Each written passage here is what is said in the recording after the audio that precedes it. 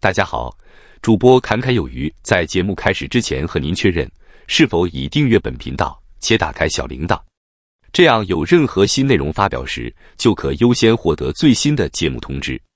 台积电的代工市场份额预计到二零二六年将比二零二五年的百分之七十再提升。根据最新报道，这一增长。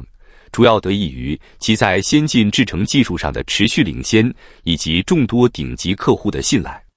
今年四月，台积电已经开始接受二纳米晶片订单，凭借其卓越的良品率，成功吸引了包括辉达、AMD、苹果、高通、联发科等在内的众多大客户。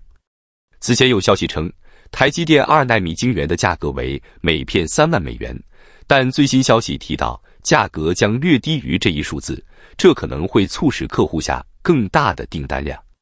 相比之下，三星的二纳米 GAA 技术尚未获得任何知名客户订单，这使得更多企业选择将订单集中于台积电，使其今年的市场份额增加至百分之七十。此外，台积电的三纳米晶圆单价约为两万美元。至于更先进的一点四纳米节点，预计要到二零二八年才会开始生产。在此情况下，三星可能会优先提升其晶圆代工市场份额，因为主要企业可能会采取双元策略来降低成本。日前，三星已启动二纳米工艺 Exynos 二六零零原型晶片量产，显露出追赶台积电的野心。但台积电这家半导体巨头，凭借长期为苹果等顶级客户稳定供货的卓越声誉，以及其领先行业的晶圆代工技术，仍有望在竞争中遥遥领先。据业内报告显示，随着二纳米晶圆订单将成为台积电二零二六年业绩的重要推手，每片晶圆价格预计接近三万美元大关。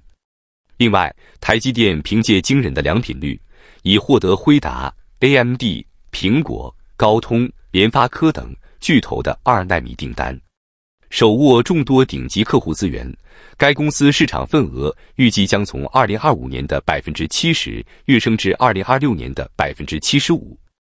值得注意的是，业内报告并未明确标注台积电二纳米晶圆单价为三万美元，而是指出价格接近三万美元。若消息属实，这种定价策略或将刺激客户加大订单量。相比之下，三纳米晶圆单片定价约两万美元。鉴于三星二纳米 GAA 技术尚未公开任何重量级客户，科技巨头们势必蜂拥投向台积电，这将助推其今年市场份额突破百分之七十。虽然这些企业压住台积电是明智之选。但转向超尖端制程的代价极为高昂。据悉，台积电一点四纳米制成的晶圆报价恐将飙升至每片四点五万美元。台积电一点四纳米量产预计要到二零二八年才能实现，但留给这一计划成为现实的时间已经不多了。在此情形下，三星欲提升其晶圆代工市场份额，或将把争取大客户的双元采购策略列为首要任务。毕竟，行业巨头们很可能采取双供应商模式来优化成本。与此同时，Google 计划在今年晚些时候推出旗舰手机 Pixel 十系列，届时将首次采用由台积电量产的 Tensor G 五晶片，而非像往常一样由三星代工。这款晶片基于台积电第二代三纳米制成 N 三 E 节点，并采用 InfoPop 封装。面对这一变动，三星自然难以接受。据最新消息，三星正密切研究 Google 为何转投他人。据韩国媒体 The Bell 的报道，三星半导体业务下的 Device Solutions 事业部近期召开全球战略会议，其中一个重点议题是如何加强晶圆代工实力。三星的晶片业务早已处于困境，Google 的离去更是重创。为此，公司正试图查明失利原因。根据 Google 高层不久前赴台，并与台积电敲定一项协议，在接下来的五年内，台积电将独家生产 Pixel 十至 Pixel 十四所用的 Tensor 晶片。当前，三星的首要任务是将良率提升至百分之五十，并持续优化。三星希望以这些改善重获客户信任，在与台积电的竞争中占据一席之地。但考虑到过去的不佳表现，Google 和高通等企业显然会在下单前严格检验其晶片质量，并倾向于采取双重代工策略以分散风险。有行业人士指出，三星代工部门至今仍面临不少技术难题，内部对此颇感忧虑。好在 Google 在部分元件上仍依赖三星，例如 Pixel 十系列仍会继续采用 Exynos 5G 数据机，暂不考虑改用联发科的方案。Google 曾长期与高通合作，但之后与三星联合启动 Whitechapel 专案，开发自研 Soci Tensor，其设计基础源自三星的 Exynos。此后，Pixel 系列的应用处理器均由三星代工。即便进入五纳米以下阶段，双方合作仍维持不变。然而，在三纳米制程时代，三星面临良率下降、稳定性不足等技术难题，这直接导致 Google 等关键客户流失。尽管三星半导体业务负责人在内部会议上强调要将良率提升至百分之五十，但失去 Google 这个重要客户，无疑是一次沉重打击。更棘手的是。Google 未来可能采取双重代工策略，进一步分散风险，这让三星的处境雪上加霜。值得玩味的是，Google 与三星的晶片合作曾有过辉煌时期，从联合开发 Whitechapel 专案到 Pixel 系列长期采用三星代工，双方一度形影不离。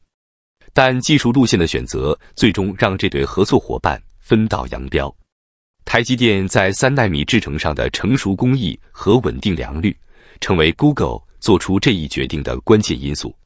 对于这次科技界传来重磅消息，Google 计划在年底推出的 Pixel 十系列旗舰手机中，首次采用台积电代工的 Tensor G5 晶片，结束与三星长达数年的晶片代工合作。这一决定犹如一颗投入平静湖面的石子，在半导体行业激起层层涟漪。三星内部已紧急召开全球战略会议，重点研讨如何应对这一变故。但更令人关注的是，Google 已与台积电达成五年独家协议，Pixel 十至 Pixel 十四系列将全部采用台积电三纳米制程生产的 Tensor 晶片。这一决定背后折射出全球晶片代工格局的微妙变化。不过，晶片供应链的博弈远未结束。尽管 Google 在处理器选择上弃三星投台积电，但在 5G 数据机等关键元件上仍依赖三星的 Exynos 方案。这种部分合作、部分分离的复杂关系，恰恰反映了当前半导体产业的现实：没有哪家企业能够完全掌控整个供应链。这场晶片代工之争给行业带来深刻启示。在技术快速迭代的今天，代工厂商的技术实力和良率水平正成为争夺客户的核心竞争力。对三星而言，如何扭转颓势、重获客户信任，将是其半导体业务能否复兴的关键。而对于整个行业来说，Google 的这一决定或许只是开始，更多企业或将重新评估其晶片代工策略。那么本期内容到这里就结束了，感谢你的观看，期盼能与你产生共鸣。侃侃而谈，阔论有余。最后，请你点赞、订阅，这对侃侃有余是极大的鼓励，谢谢。